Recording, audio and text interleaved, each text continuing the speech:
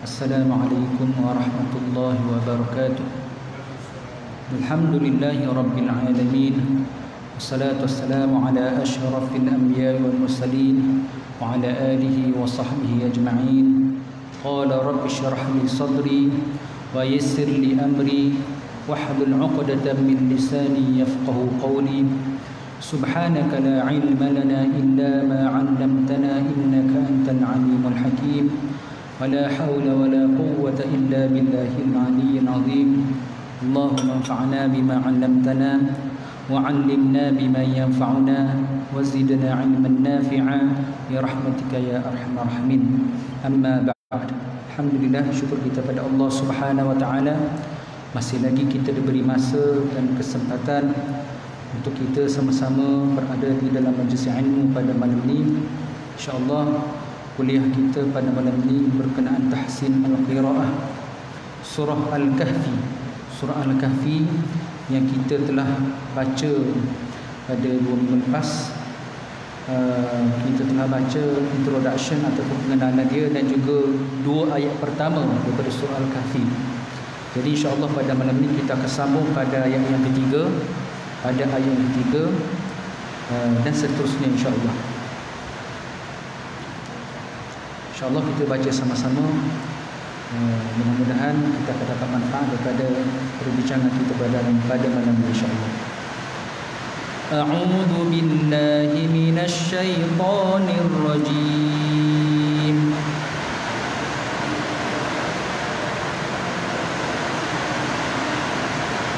Bismillahirrahmanirrahim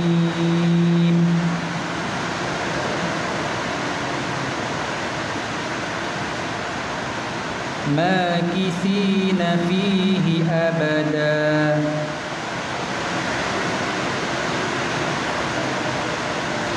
Okey. Ayat ketiga ni ayat yang pendek lah. Oh, ayat yang pendek. Jadi tak ada masalah untuk kita baca. Okey, perkataan makithina. Ma ada tanda alif kecil kat situ. Yang tu kita baca dengan dua harakat. Man asli dua harakat. Ada ma Kemudian makifi terdapat huruf tha. Makhraj huruf tha pastikan kita baca dengan betul. Pastikan lidah kita terkena gigi depan. Makifi fi makifi. Tak boleh kita baca makisi kisi salah. Jadi sin. Jadi kita betulkan dia dia jadi tha tha makifi makifi okey. Makifi si di juga dibaca dengan dua harakat man asli. Makifina fihi abada. Fihi fihi juga kita baca dengan man asli. Fihi abada. Okey kalimah abada dia tanwin. Tanwin hujung ada alif. Setiap huruf tanwin hujung dia ada alif, bila kita berhenti dia akan jadi ma'iwaq. Baris dua atas, tanwin dua di atas, ada alif di hujung dia, kita berhenti dengan dua harakat. Hukum dia mad iwaq nama dia. Mad iwaq. Maksudnya mad yang kita tukarkan kepada bunyi alif. Kita tak baca bunyi tanwin. Kita baca bunyi alif. Abada mesti dua harakat. Sebab kadang-kadang ada yang baca satu je. Fihi abada. Fihi abada. Tak cukup. Da, da, da. Walaupun bunyi betul tapi harakat tak cukup. Salah juga. Panjang sikit. Abada. Abada. Dua harakat. Okey. Seterusnya ayat yang keempat. وينذر الذين قالوا اتخذ الله ولدا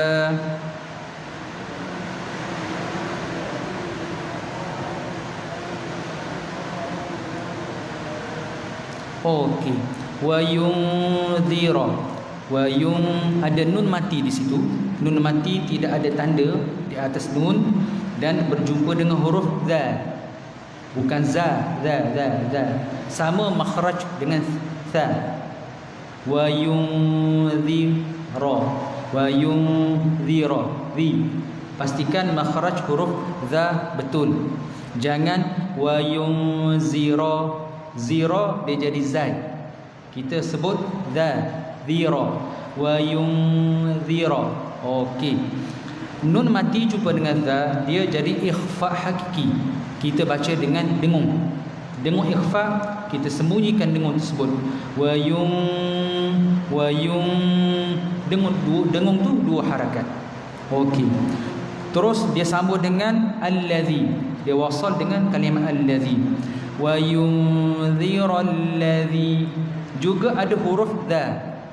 Jadi huruf dha tu kita kena mahirlah kita kena sebut dengan betul wa yunzira allazi juga kita baca dengan dua harakat man asli wa yunzira allazina qalut qa qa man asli dua harakat.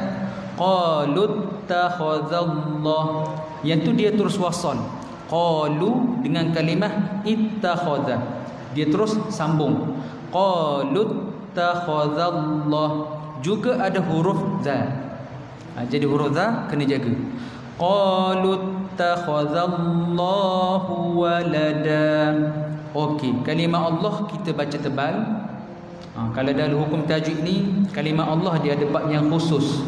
Maksudnya bab yang membincangkan hukum tajwid kalimah Allah dia boleh baca nipis kalimah Allah dia boleh baca tebal Ha, jadi antaranya kalau kalimah Allah sebelum dia bagi atas dan bagi depan, yang tu kita kena baca tebal. Kalau sebelum kalimah Allah nipis uh, bagi bawah, kita baca nipis. Yang tu baris atas. Qalu takhadallahu walada.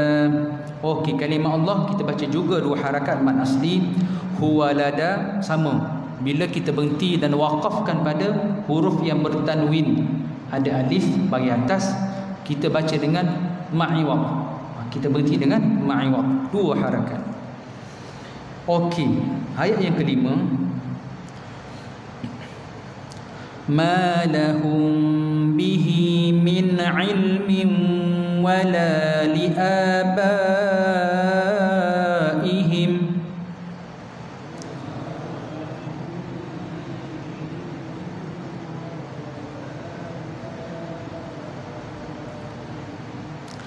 كبرت كلمة تخرج من أفواههم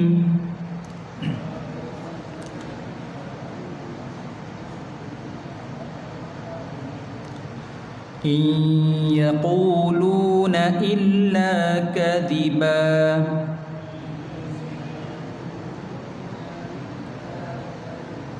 Okey, ayat ini agak panjang lah. tapi jangan risau, kita ada tempat berhenti, ada tempat wakaf.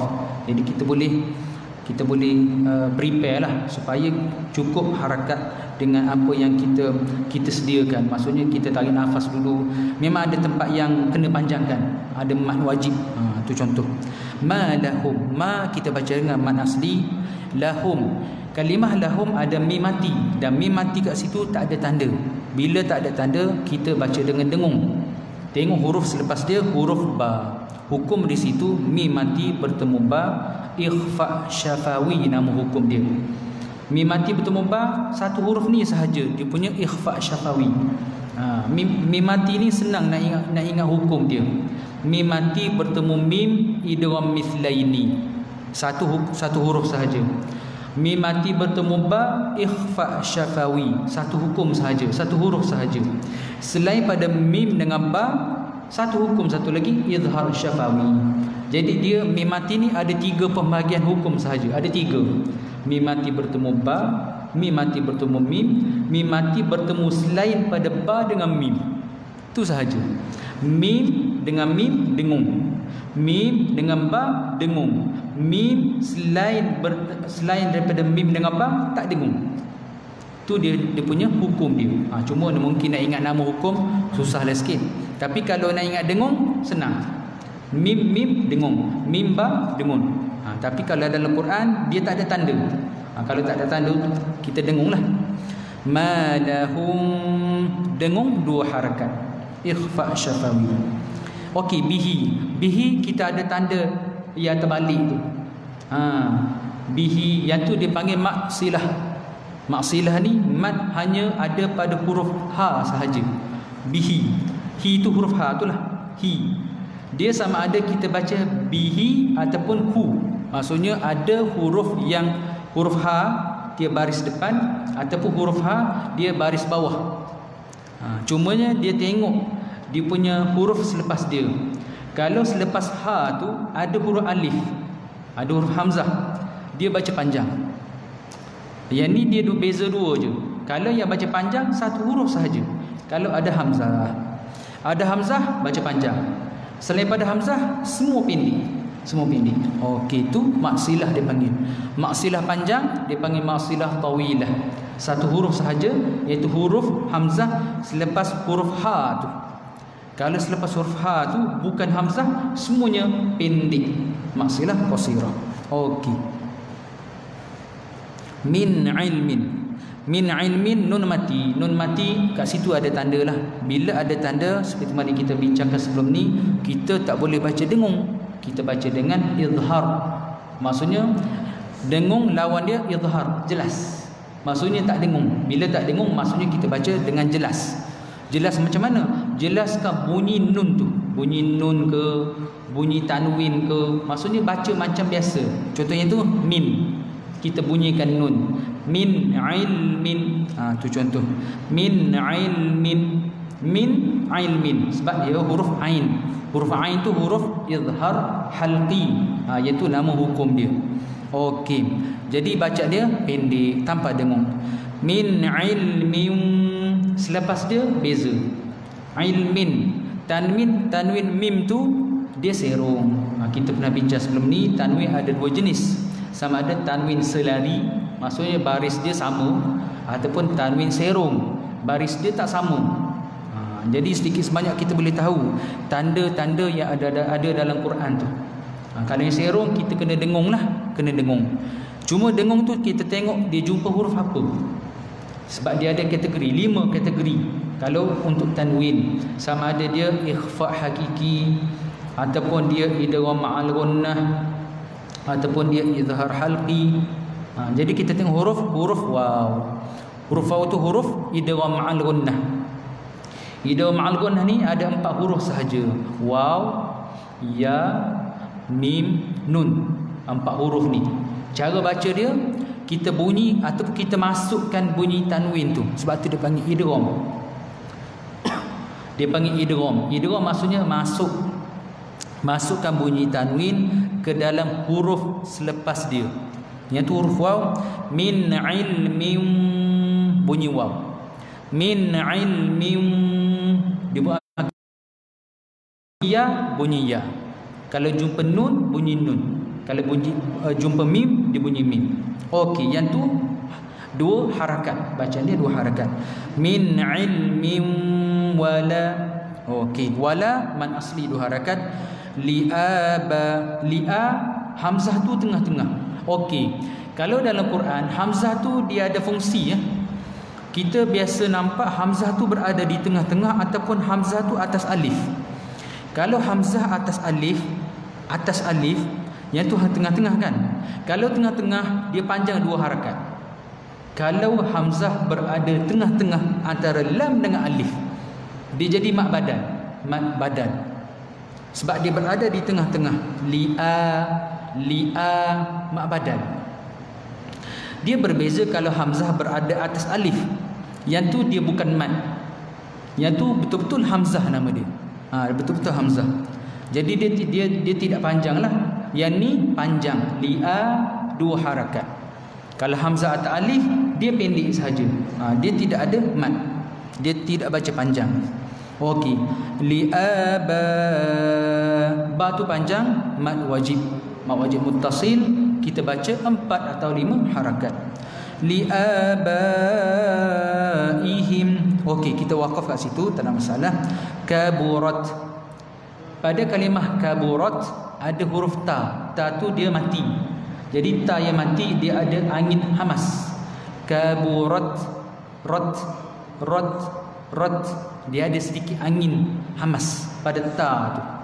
Ha, dia mengikut huruf lah. Huruf yang ada hamas ni ada 10 sebenarnya. Tapi dia mengikut huruf lah. Salah satu huruf dia ta ni. Ha, kalau yang lain sifat dia lain. Macam kaf ak. Dia bunyi kaf tu. Ha, tu contoh. Okey kaburat kalimatan kalimah kalimatan. Ta marbutah tu tanwin. Tanwin serong bila serong kena dengung jumpa dengan huruf ta juga. Jumpa huruf ta huruf ikhfa.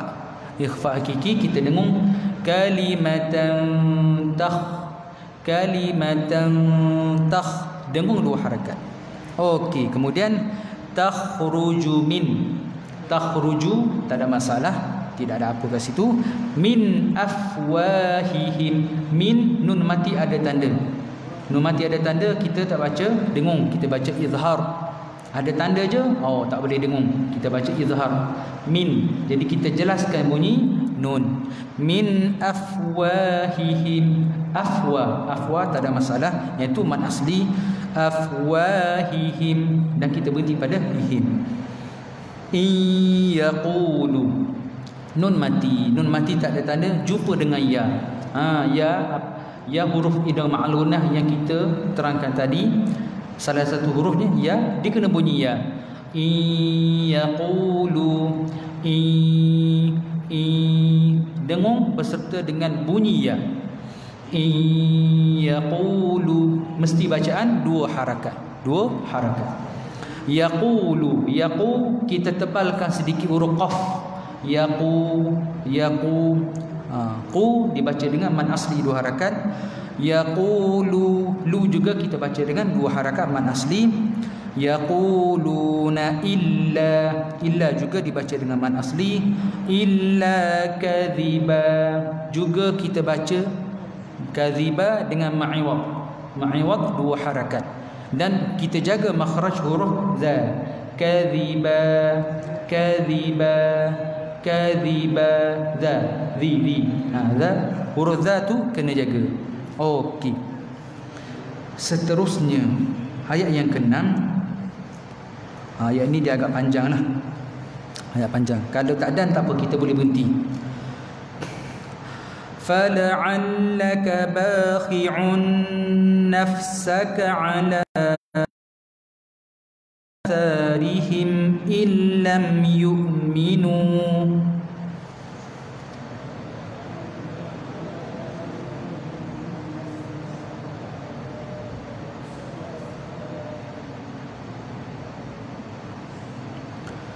إن لم يؤمنوا بهذا الحديث أسفا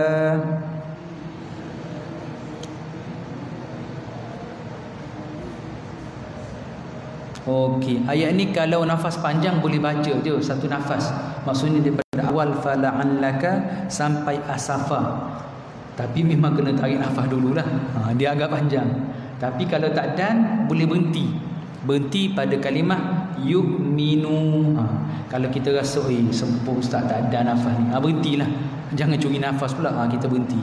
Okey. Fala'allaka fala'allaka tak ada masalah.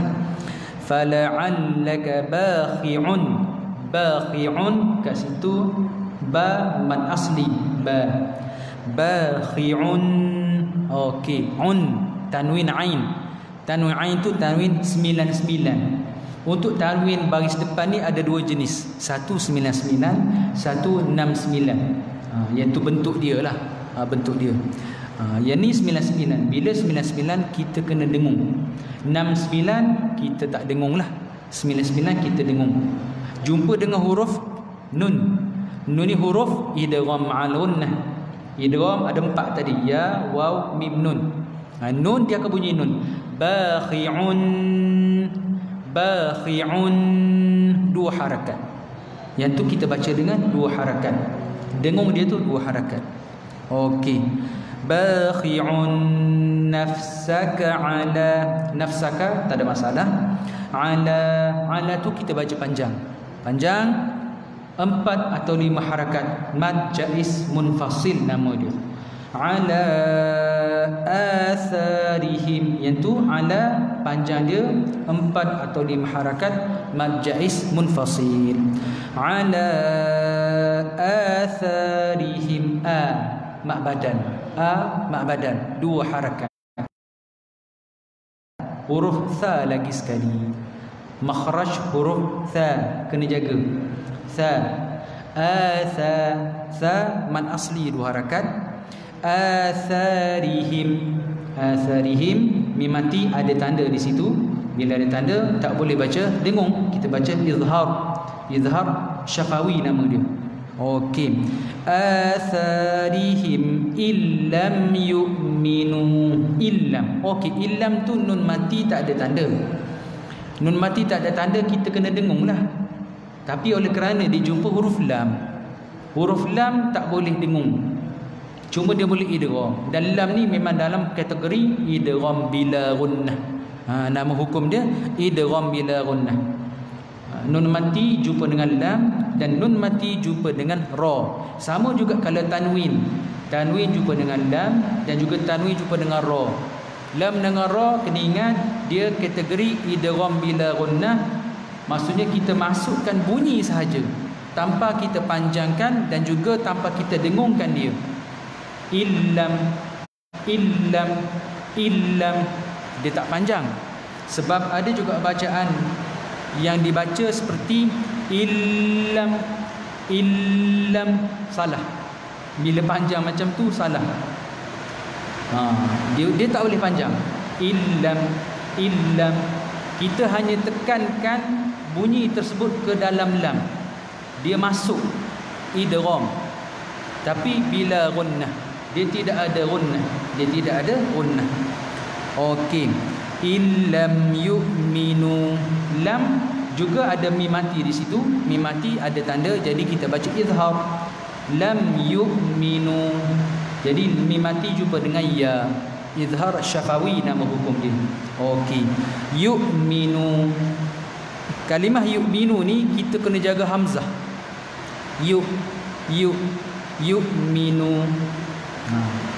jangan sampai hamzah tu jadi ain. Yu'minu yu salah. Dah lari dia punya sebutan hamzah. Yu yu ha. Kadang-kadang kita kena praktis.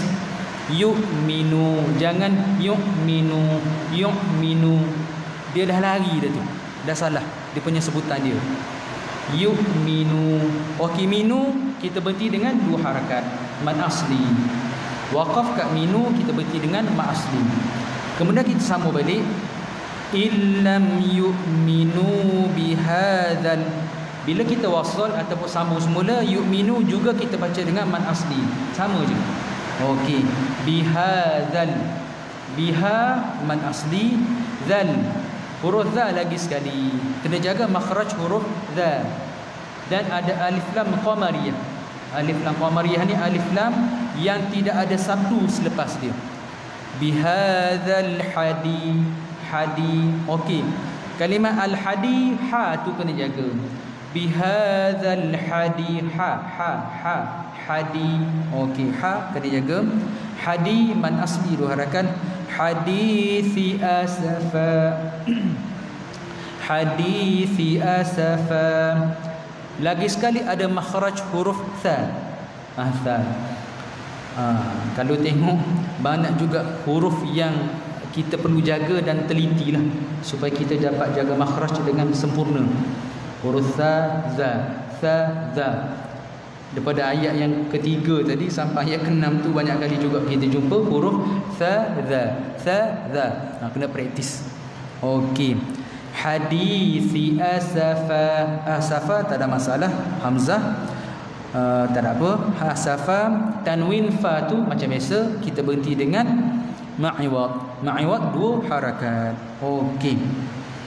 Ayat yang ketujuh. Inna ja'alna ma 'alal ardi zinatan laha linabluwahum ayyuhum ahsanu 'amala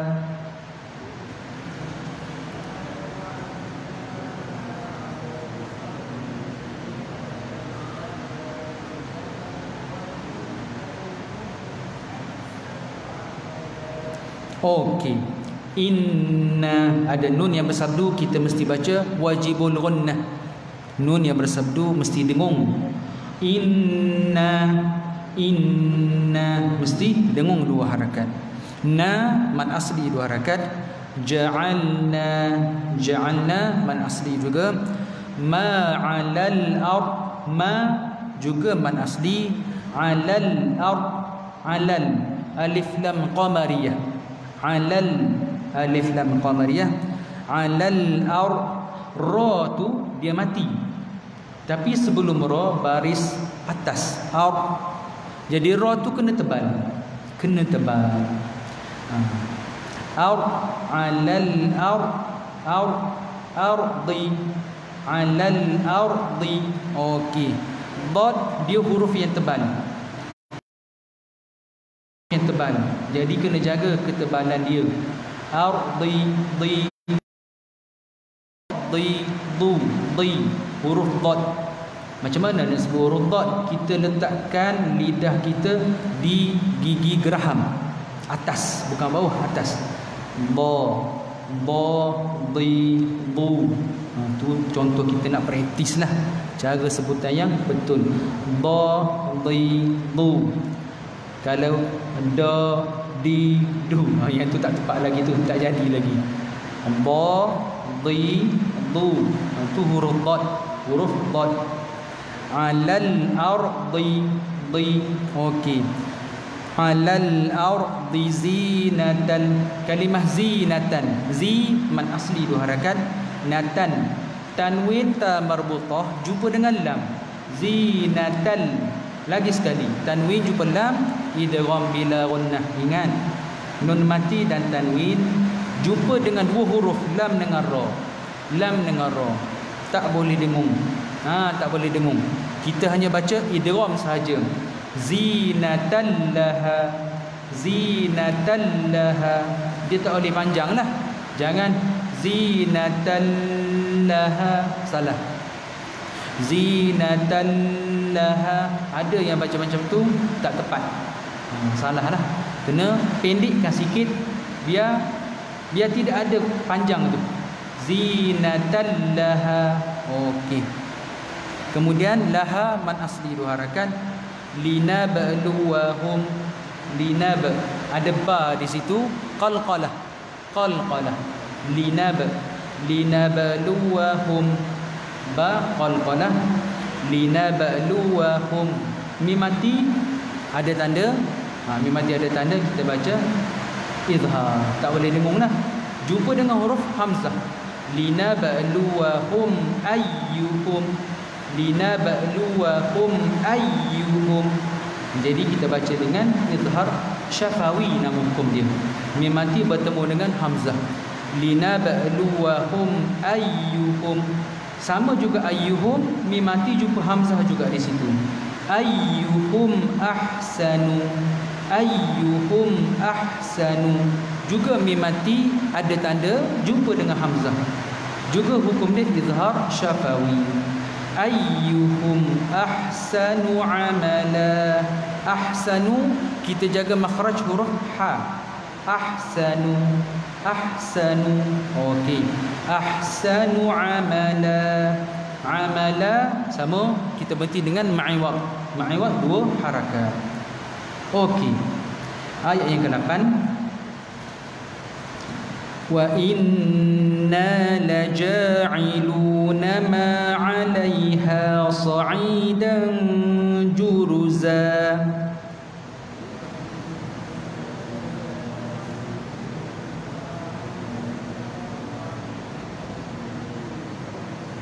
Okey, ayat ini pendek saja tak ada masalah.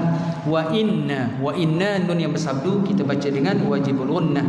Wa inna dengungkan pada nun. Dan na man asli dua harakat wa inna laja'ilu laja man asli dua harakat.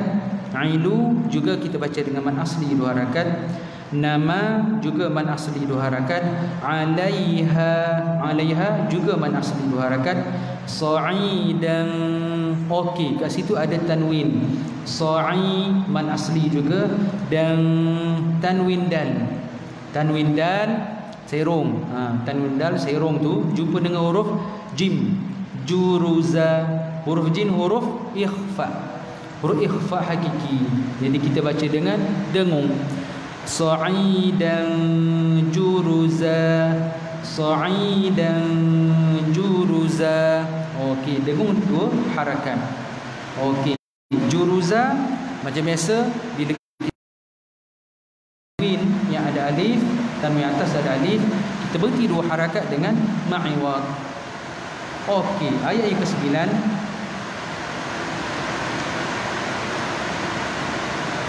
أم حسبت أن أصحاب الكهف والرقيم كانوا من آياتنا عجباً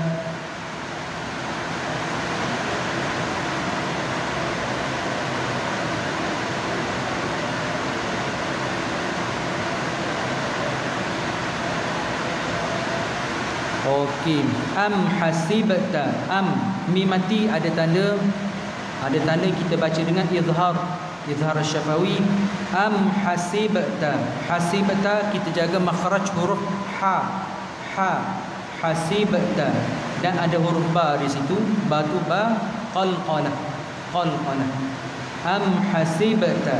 Hasibta. Okey. Qalqala hasibta anna ashab anna wajibul gunnah nun. Nun yang bersabdu kita baca dengan dengung. Anna. Anna. Mesti dengung dua harakat. Anna asha ashaba. Kalimah ashaba ada huruf sad. Huruf sad huruf yang bunyi dia tebal. As. As. Ha, jangan as. As. As. Dia jadi sin. As tebalkan sedikit bunyi dia untuk bezakan dengan sin. Anna as anna as. Ha, tu huruf sad asha ha juga kena jaga. Huruf ha ha mad asli dua harakan. Ashabal kahfi bal alif lam qamariyah. Alif lam qamariyah. Ashabal kahfi warraqim Al-Kahfi iaitu alif lam qamariyah. War-Raqim iaitu syamsiyah. Ha, beza dia ada sabdu. Alif lam qamariyah dia tidak ada sabdu pada alif lam. Alif lam syamsiyah dia ada sabdu pada alif lam. Huruf selepas dia lah. Ha. Ashabal kahfi war-raqim war-raqim iaitu alif syamsiyah. Kemudian war-raqim qaf tu dia baris bawah. Qaf juga huruf yang tebal kita kena jaga. Qi qi warraqi. Ha. jangan warraqi raqi raqi dia jadi kaf. Warraqi qa qi qu qi warraqi raqi itu dua harakat man asli. Warraqi mikanu kanu ka man asli nu juga man asli dua harakat. Kanu min ayatina min. Nun mati ada tanda. Nun mati ada tanda kita tak boleh baca dengung. Kita baca izhar. Dan hukum dia kat situ izhar halqi. Nun mati jumpa dengan hamzah. Uh, hukum dia izhar halqi.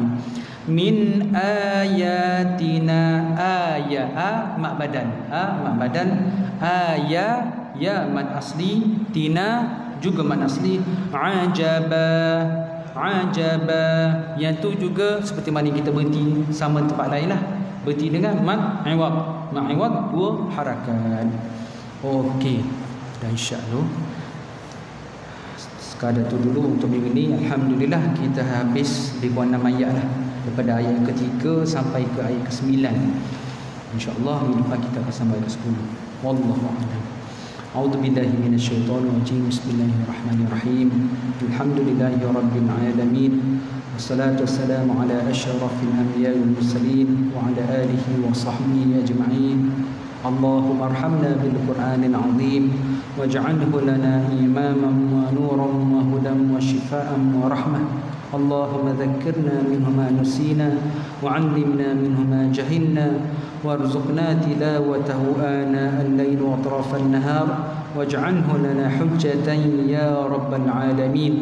ربنا آتنا في الدنيا حسنة وفي الآخرة حسنة وقنا عذاب النار.